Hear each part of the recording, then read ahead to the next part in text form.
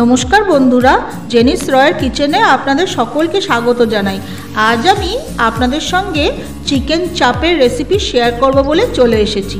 আপনারা ভিডিওটা দেখুন, যদি ভিডিওটা আপনাদের ভালো লেগে থাকে, লাইক আর শেয়ার করে দেবেন।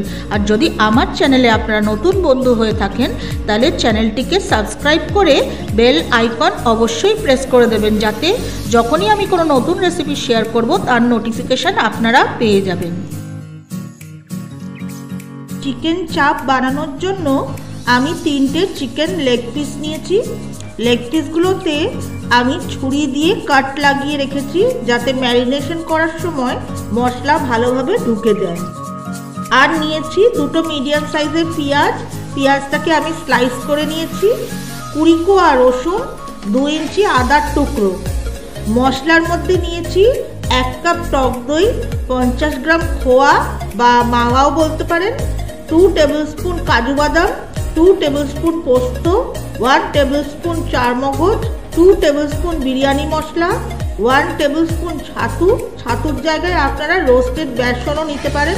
ওয়ান টেবিল স্পুন কাশ্মীরি লাল লঙ্কার গুঁড়ো ওয়ান টেবিল স্পুন গোলমরিচ গুঁড়ো one tablespoon kewra water one tablespoon rose water মিঠা আতর আর জাফরানের ব্যবহার আমি চিকেন চাপ বানানোতে করব। স্বাদ মতো নুন আর চিনি নিয়েছি।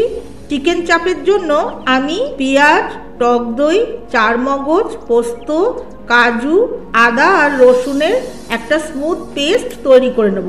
সব মশলাগুলোর একটা স্মুথ পেস্ট তৈরি হয়ে গেছে। এবার আমি চিকেনটাকে ম্যারিনেট করে নেব। পেস্ট করে রাখা মশলাটা দিয়ে দেব, খোয়াটা দেব, বিরিয়ানি মশলা, গোলমরিচের গুঁড়ো ছাতু কাশ্মীরি রেড চিলি পাউডার স্বাদ মতো নুন, চিনি, কেওড়া ওয়াটার রোজ ওয়াটার মিঠা আতর আর one tablespoon olive oil দিয়ে দেব। এবার সব মশলাগুলোকে চিকেন লেগ পিসের সঙ্গে ভালো করে মাখিয়ে নেব।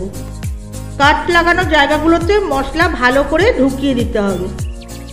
চিকেন লেগ পিসগুলোতে মশলা ভালোভাবে মাখানো হয়ে গেছে। এবার আমি বোলটা ফ্রিজের মধ্যে ওভারনাইট ম্যারিনেশনের জন্য রেখে দেব। চিকেনের ম্যারিনেশন হয়ে গেছে, এবার আমি রান্নার প্রসেসের দিকে যাব। ইন্ডাকশানে আমি একটা বড় প্যান বসিয়ে দিয়েছি। প্যানের মধ্যে আমি three tablespoon olive oil দিলাম টু টিস্পুন ঘি দিলাম। তেল আর ঘি গরম হয়ে গেছে, এবার আমি এক এক করে চিকেন লেগ পিসগুলোকে দিয়ে দেবো।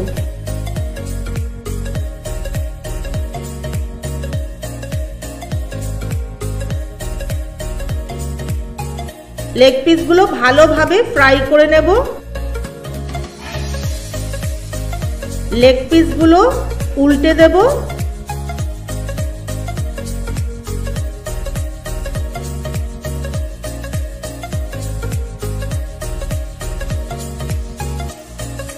একইভাবে আবার উল্টে দেবো।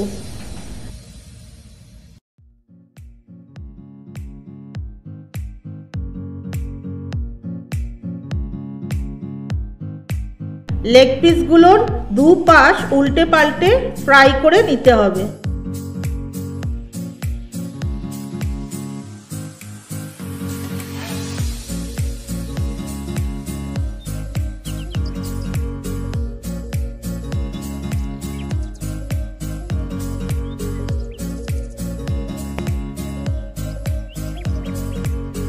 লেগ পিসগুলো ফ্রাই করে নেওয়া হয়ে গেছে।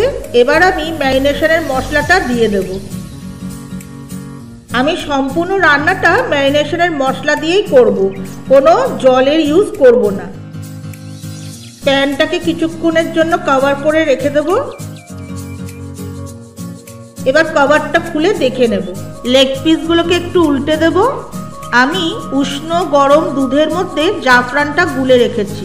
জাফরানটা আমি দিয়ে দেব।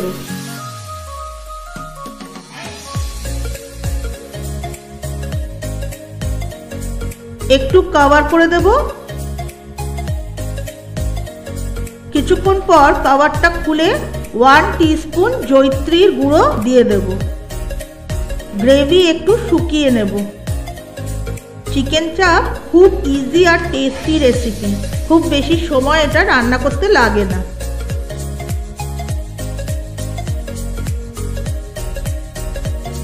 গ্রেভি কমে তেল আর ঘি ভেসে উঠেছে। চিকেন চাপ একদম রেডি আমি ইন্ডাকশান বন্ধ করে দেব আর চিকেন চাপটাকে ডিশ আউট করব। আপনারা ভিডিওটা দেখুন, যেভাবে আমি চিকেন চাপ রান্না করলাম, আপনারা বাড়িতে একবার ঠিক এই প্রসেসে রান্না করে খেয়ে দেখুন, আপনাদের অসাধারণ লাগবে।